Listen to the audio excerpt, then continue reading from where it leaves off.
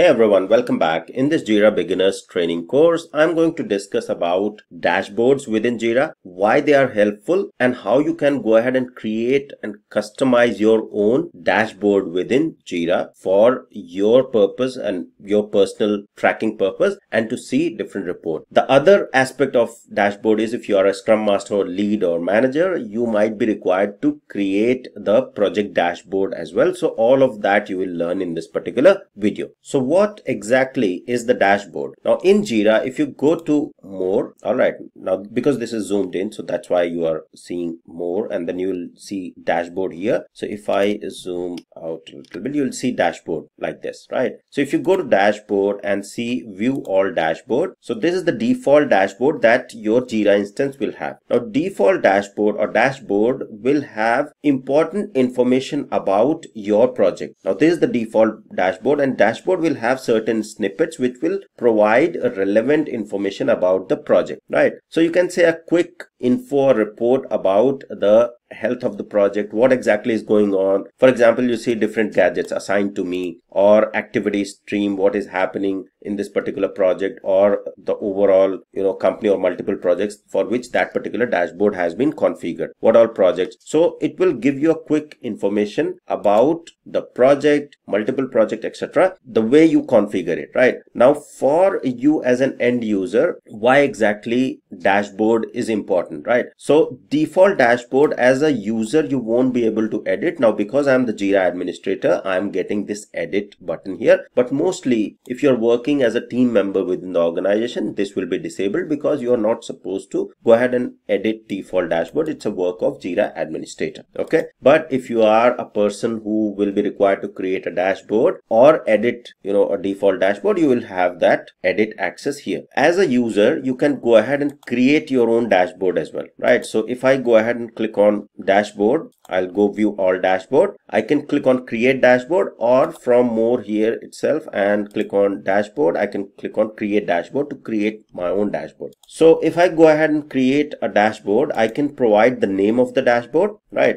So for example i'll say rcv academy project dashboard. Okay so this is a dashboard specific to rcv academy say for example this is for ios project. All right. So as a lead as a manager as a person who's managing this particular project they can go ahead and create the dashboard provide the name provide the description of a particular project right? And then you can go ahead and choose who is the viewer okay? So you can either keep this particular dashboard as private or you can choose a particular project group the whole organization or some specific users right? For example if i'm uh, if i'm creating this for a particular project i'll select the viewers as project and select the project for which i am creating this and who all what all roles are allowed to view right? So i'll say okay atlassian add-on users and then you have to basically click on this add in order to enable this right? So i'll also say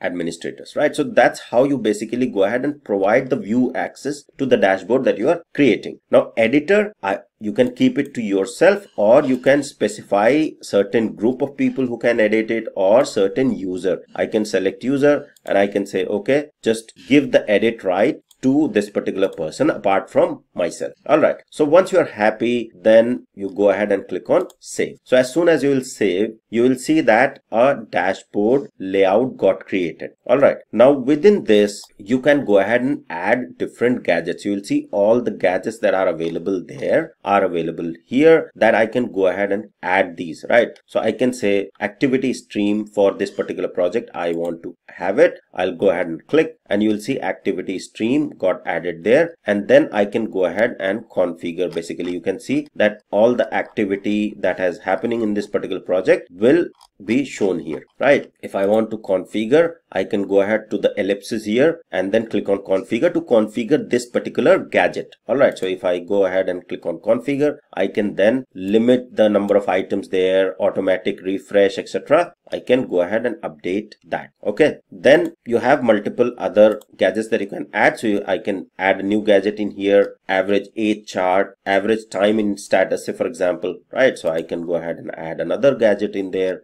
and that gadget got added in in there. So you'll see there is no filter that has been selected. I can go ahead choose the filter in there if i want but let me choose the project. Okay so i'll select the project instead of fil filter the whole project and then simply go ahead and save it. Right so two of the gadgets have been configured. So depending on what all information you need on this particular dashboard you can go ahead and select the gadgets that are available here. Okay so i'll choose another one and then you can also move these around right? So move these gadgets around and configure the layout. So i you can simply just hover over on these little icons here and then move these gadgets around to different spots that are available on this particular dashboard right? So this is basically how you are going to create a dashboard and configure or add the gadget and then configure those gadgets. Let me close this. So now let me save this. I'll select the project. Okay so you have to make sure that you select the project in there and then configure all the settings that are there and then save it right? So now you'll see this particular dashboard has been created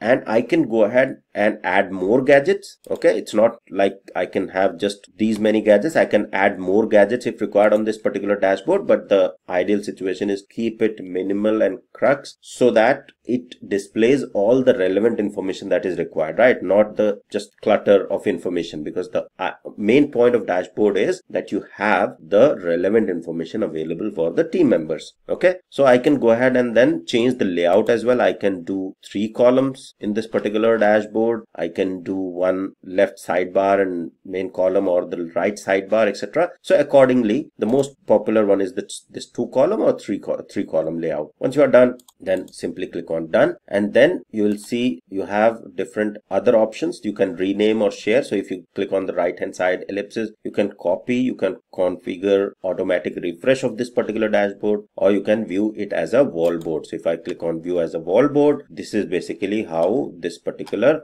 dashboard will look like. All right let me go back. Then you can delete it because i have created it. I can delete it. If you haven't created it and you don't have the edit right or delete right you won't be able to get these options here. Then you can configure wallboard slideshow as well. Create a new dashboard and then view all dashboard will show you all the dashboards that are there. So previously there was one dashboard. This is the one that i created. So this is available as well. Now this is for the project. Now as a user as well you can go ahead and create your own dashboards for your personal reference okay? So you can go ahead and quickly see what all impo important information you want to have a look within the project for your work piece of work right? So i can go ahead and as a user i can say this is my personal dashboard. So i'll say my personal dashboard and I can keep is it as private because it's just for my reference. As a as a user or as a project member I just want to keep it to myself and add the gadgets that are necessary or helpful for me to track my piece of work within the project right? So I want to simply say assign to me